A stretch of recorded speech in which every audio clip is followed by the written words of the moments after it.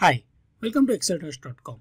Today we are going to learn how to use the format painter very effectively. Let's dive into it quickly. So this is my data. I want to change the font of the first heading to let's say give it Algerian and a red color font and let's say increase the font size. Now the same formatting I want to apply to another header as well. So I'm going to keep my cursor on this original cell.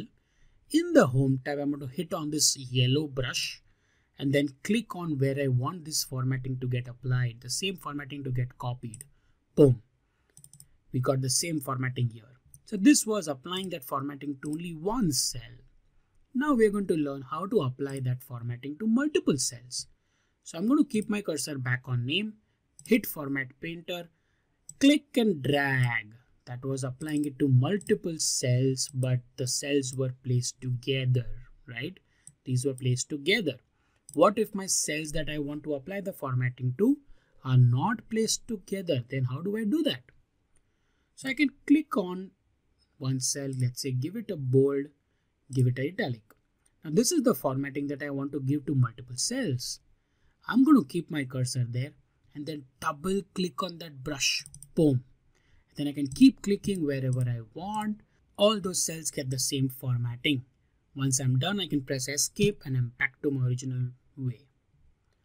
Now I want to apply the formatting of an entire column to the next column. So let's say first I just format painter this. Now you see that this has a comma and after the point there are two zeros, two digits. I want to apply the formatting of the entire column to the next column as well. So I've selected the entire column, then clicked on format painter and then I'm going to click on the header of the column. Boom. It applies the formatting of this entire column row by row to this column directly. I can try doing that on the date column as well. So I have the birth date column, format painter, then directly click on the header E and boom, the same formatting got applied. The red happened and also the date format changed to the same date format here. So this was about Format Painter. I hope you like the video and it is helpful.